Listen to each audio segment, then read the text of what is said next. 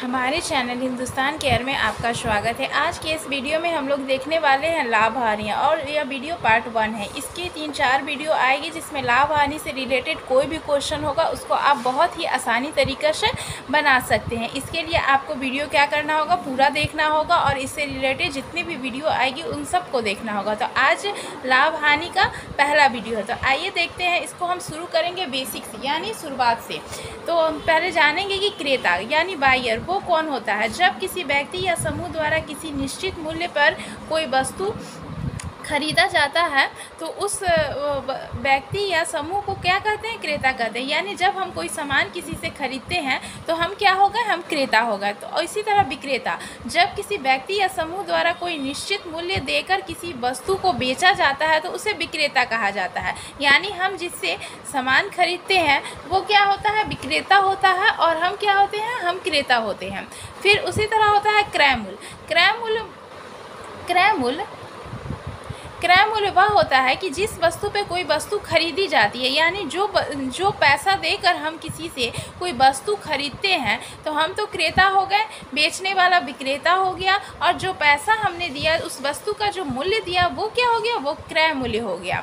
तो यहाँ लिखा हुआ इसके डिफिनेशन में कि जिस मूल्य पर कोई वस्तु खरीदी जाती है, या किसी वस्तु को खरीदने के लिए क्रेता द्वारा विक्रेता को जितनी धन राशि प्रदान की जाती है, उस राशि को क्या कहते हैं? वस्तु का क्रय मूल्य कहते हैं। यानी जो ये मोबाइल है, ये मोबाइल का दाम हमने क्या मान लिया? सात हज़ार है। तो हम क्या हो गए? हम क्रेता हो गए। हमने पैसा दिया कितना? हमने सात हज़ार रुपया दिया किसको? दुकान वाले को। तो दुकान वाला क्या हो गया? विक्रेता हो गया। यानी क्रेता द्वारा विक्रेता को दिया गया मूल्य क्या कहलाता है? क्रय मूल्य कहलाता है। उसी तरह क्या होता है? विक्रय मूल्य। जब किसी वस्तु को जब जिस मूल्य पर कोई वस्तु बेची जाती है या उस वस्तु को बेचने के लिए विक्रेता द्वारा क्रेता से जितनी धन राशि प्राप्त की जाती है, उस राशि को उस वस्तु का विक्रय मूल्य कहते हैं। यानी जैसे यहाँ सात हज़ार रुपया है, ये वस्तु का इस मोबाइल का क्या हो गया? दाम हो गया है सात हज़ार। और ये विक्रेता, ये क्रेता। विक्रेता ने क्रेता से कितना रुपया प्राप्त किया? सात हज़ार रुपया। तो ये क्या हो गया? इसके लिए विक्रय मूल्य हो गया और क्रेता के लिए ये क्रय मूल्य हो गया। ऊपरी मूल्य। यानी जब किसी वस्तु को खरीदने के बाद उसे गंतव्य स्थान तक ले जाने या मरम्मत या बीमा टैक्स आदि में क्रय मूल्य के अतिरिक्त जो खर्च आता है उसे हम ऊपरी मूल्य या ऊपरी व्यय कहते हैं। जैसे मान लीजिए कि हमने ये मोबाइल खरीदा। अब मोबाइल खरीदे तो सिर्फ़ मोबाइल खरीद लेने से तो कुछ काम चलता है नहीं। उसके लिए क्या ज़रूरत होता है? उसके लिए सिम ज़रूरत होता है। उसके लिए उसका आ, हम लोग इसका कवर लगाते हैं मोबाइल का। उसका टेम्पर ग्लास लगाते हैं। तो ये सब लगाने में और और कभी कभी हम लोग उसमें मेमोरी कार्ड भी डालते हैं, उसका ईयरफोन ख़रीदते हैं, उसका चार्जर देता है तो साथ नहीं रहता है तो वो ख़रीदते हैं। तो ये सब जो ख़रीदने में जो पैसा लगा और ये मोबाइल के पैसे, ये दोनों को हम जो पैसा इसके अतिरिक्त लगा, उसे हम क्या कहते हैं? ऊपरी मूल्य कहते हैं। इस मोबाइल को मोबाइल को चलाने के लिए और भी क्या ज़रूरत पड़ गई? सिम की ज़रूरत पड़ गई, इस चार्जर की ज़रूरत पड़ गई। चार्जर के अलावा ईयरफोन कान में लगा के सुनने के लिए ये सब ज़रूरत पड़ गई। तो ये सब क्या हो गया? उसका ऊपरी मूल्य हो गया। चाहे हम मोबाइल का क्या लगाते हैं? ग्लास लगाते हैं टेम्पर ग्लास लगाते हैं ऊपर से, चाहे उसका कवर लगाते हैं कि मोबाइल सुरक्षित रह गई वो सब में जो हमने खर्च किया, वो ऊपरी मूल्य हो गया। जैसे मान लिया हमने फ्रिज खरीदते हैं और फ्रिज फ्रिज का मूल्य कितना हो गया? एक फ्रिज हमने खरीदा, उसका मूल्य मान लीजिए कितना है? बीस हज़ार रुपया है। बीस हज़ार रुपया क्या हो गया? उसका मूल्य हो गया। लेकिन उसे हम जब अपने घर तक लाते हैं तो लाने में जो जिस वाहन से उसे लाते हैं, उसका जो खर्च होता है, वो क्या हो गया? वो ऊपरी मूल्य हो गया। उसका ऊपरी मूल्य या ऊपरी व्यय हो गया। अब हम जानते हैं कि वास्तविक मूल्य क्या होता है। वास्तविक मूल्य वो मूल्य होता है। वास्तविक मूल्य क्रय मूल्य क्रय मूल्य प्लस ऊपरी व्यय यानी जो हमने फ्रिज खरीदा और उसे लेके आए। वो जो मूल्य लगा, जैसे घर तक लाने में उसे कितना पैसा खर्च हुआ। मान लिया कि एक हज़ार खर्च हुआ। फ्रिज का दाम कितना था? फ्रिज का दाम बीस हज़ार था। घर तक लाने में एक हज़ार और खर्चा हो गया। तो टोटल कितना हो गया? टोटल खर्च में आ रहा कितना हो गया? इक्कीस हज़ार रुपया हो गया। तो ये क्या हो गया? वो वास्तविक मूल्य हो गया। यानी जो सामान, उस, जिस वस्तु हमने खरीदा, उस वस्तु का जो मूल्य था, जिसे देकर हमने खरीदा, वो उसका क्रय मूल्य हो गया। उसके अलावा उसमें ऊपरी व्यय जो लगा मतलब उसके लाने में, घर तक लाने में जो खर्च हुआ या उसका बीमा हुआ, उसका टैक्स हुआ, यानी जैसे बहुत ज़्यादा महँगा सामान होता है तो उसका बीमा होता है, जैसे बाइक हमने खरीदा तो उसका इंश्योरेंस होता है, बीमा होता है, ये सब उसका ऊपरी व्यय हो गया। और इन दोनों को जो हमने जोड़ दिया तो वो क्या हो गया? वो हम हो गया वास्तविक मूल्य। तो आइए अब हम देखते हैं कि अंकित मूल्य क्या होता है। अंकित मूल्य वस्तुओं या उसके पैकेटों पर अंकित, उससे अधिकतम विक्रय मूल्य को ही अंकित मूल्य कहा जाता है। यानी जब हम कोई वस्तु खरीदते हैं तो उस पर उस वस्तु का मूल्य लिखा रहता है। वो मूल्य क्या होता है? अंकित मूल्य होता है। उसको हम क्या कहते हैं? एम आर पी भी कहते हैं। क्या कहते हैं? एम आर पी या एम एस पी।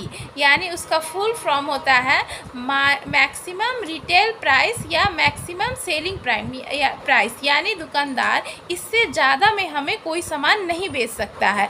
जो है, उसका वो मैक्सिमम है। मान लीजिए कि हमने एक बिस्किट खरीदा। बिस्किट खरीदा। उसका मूल्य क्या है? पाँच रुपया। लिखा रहता है कि नहीं? दो पैकेट पे लिखा रहता है। तो उससे अधिक उससे अधिक दुकानदार नहीं ले सकता है। जो इसका मूल्य है, वो एमआरपी है। जो लिखा रहता है पैकेट पे, वो क्या होता है? एमआरपी या एमएसपी यानी marketing retail price. Maximum retail, sorry, maximum retail price. यानी इस ज़्यादा से ज़्यादा। इससे कम ले सकते हैं, लेकिन ज़्यादा नहीं ले सकते हैं। अब हम प्रतिशत लाभ देखते हैं। प्रतिशत लाभ कैसे निकालते हैं? तो जब क्रय मूल्य, विक्रय मूल्य से क्या होता है? कम होता है। विक्रय मूल्य से, विक्रय मूल्य क्या होता है? क्रय मूल्य से अधिक होता है।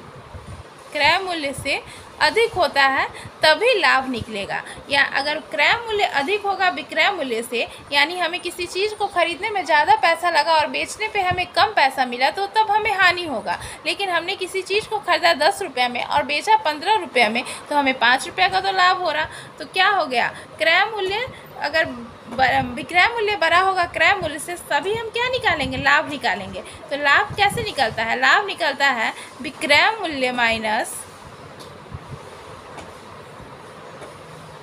क्रय मूल्य। क्रय मूल्य। ये तो उसका लाभ निकल गया। और हम निकाल किस पे रहे हैं? क्रय मूल्य पे लाभ निकालेंगे। तो नीचे क्या होगा? क्रय मूल्य होगा।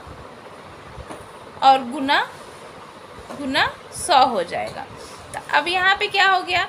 विक्रय मूल्य माइनस क्रय मूल्य क्या हो जाता है? लाभ निकल जाता है। और लाभ बटा क्रय मूल्य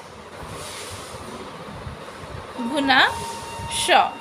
तो लाभ का प्रतिशत का फॉर्मूला क्या हो गया? लाभ गुना क्रय मूल्य बटा सौ। आइए अब हम एक क्वेश्चन को सॉल्व करते हैं कि कपिल ने एक घोड़ा तीन हज़ार में खरीदा और उसे छत्तीस हज़ार में बेच दिया। तो कपिल को कितने प्रतिशत का लाभ हुआ? तो सबसे पहले इसका क्रय मूल्य क्या है? क्रय मूल्य है इसका कितना? तीस हज़ार है। विक्रय मूल्य है विक्रय मूल्य कितना दिया हुआ है? तो छत्तीस हज़ार। और लाभ निकालेंगे तो लाभ कितना हो जाएगा? छत्तीस हज़ार माइनस तीस हज़ार। कितना हो जाएगा? तो छः हज़ार हो जाएगा। अब हमको क्या निकालना है इसका? लाभ प्रतिशत निकालना है। क्या निकालना है? तो लाभ प्रतिशत निकालना है। लाभ प्रतिशत का फॉर्मूला क्या होता है? लाभ बटा क्रय मूल्य, गुना सौ तो लाभ कितना निकल गया? तो लाभ आ गया है छः हज़ार, क्रय मूल्य है तीस हज़ार, और गुना सौ है। तो दो ज़ीरो से तो दो ज़ीरो कट जाएगा, दो ज़ीरो से यहाँ भी दो ज़ीरो कट जाएगा और तीन दूना छः हो जाएगा। तो कितना लाभ हो रहा है हमें? बीस प्रतिशत लाभ हो रहा है। समझ में आया? तो फिर आगे देखते हैं, एक और क्वेश्चन को हम सॉल्व करते हैं तो क्वेश्चन लाभ वाला बहुत अच्छे से क्लियर हो जाएगा।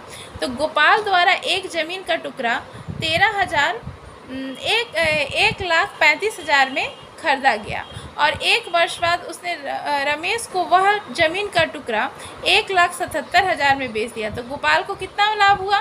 तो कम में खरीदा है, ज़्यादा में बेचा है। तो क्रय मूल्य क्या हो गया है इसका? क्रय मूल्य एक लाख पैंतीस हज़ार है और विक्रय मूल्य है इसका कितना? तो एक लाख सतहत्तर हज़ार। अब हमें लाभ देखते हैं कितना हुआ। तो लाभ के लिए क्या करेंगे? घटा देंगे एक लाख सतहत्तर हज़ार में एक लाख पैंतीस हज़ार को। तो कितना आएगा? तीन ज़ीरो का तो तीन ज़ीरो हो जाएगा। सात में से पाँच जाएगा तो दो बचेगा, सात में से तीन जाएगा तो चार बचेगा और एक से एक कट गया कितना लाभ हो गया हमें? बयालीस लाभ हो गया। अब हमें क्या निकालना है? लाभ प्रतिशत निकालना है। तो क्या हो जाएगा? यहाँ पे बयालीस हज़ार बटा क्रय मूल्य कितना है? तो एक लाख पैंतीस हज़ार गुना सौ इससे ये कट जाएगा। अब कैसे ये कटेगा? एक सौ पैंतीस है। एक सौ पैंतीस है तो कटेगा कैसे? तो एक सौ पैंतीस है तो इसे हम काटेंगे पाँच से, पाँच तो ना दस हो जाएगा, और यहाँ पे पाँच दुना दस और पाँच सत्ते पैंतीस। अब यहाँ पे कट, काटते हैं, कैसे कटेगा? तो बयालीस है, बीस है, तीन से तीन से काटते हैं यहाँ, तीन एक कम तीन, और यहाँ पे तीन से लगाएँगे तो तीन चौका बारह। और तीन नमा सत्ताईस। चौदह दूना अट्ठाईस, दो सौ अस्सी और नौ। नौ तो इसमें लगाएँगे हम तो कितना आ जाएगा? तो नौ तिया सत्ताईस और दस बटा नौ। तीस। परसेंट इसका क्या हो जाएगा? इसका लाभ इतना परसेंटेज हो जाएगा। इसमें हम कटाया। दो सौ अस्सी में नौ से भाग दिए। तीन से भाग लग जाएगा, देखते हैं पहले। तीन नंबर सत्ताईस, नहीं लगेगा। नौ तिया सत्ताईस।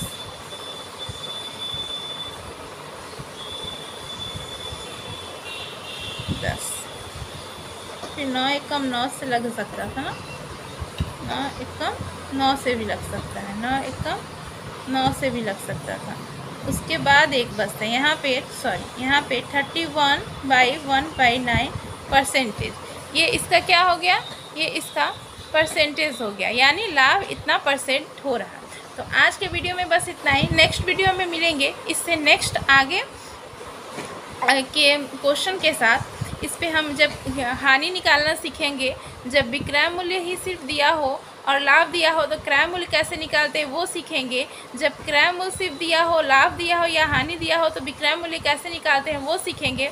तो इसी तरह के वीडियो देखने पर चैनल पर बने रहें और पहली बार आए हैं तो चैनल को सब्सक्राइब करना ना भूलें और वीडियो पसंद आए तो उसे लाइक और शेयर ज़रूर करें और अपने दोस्तों में भी शेयर करें। Thanks for watching.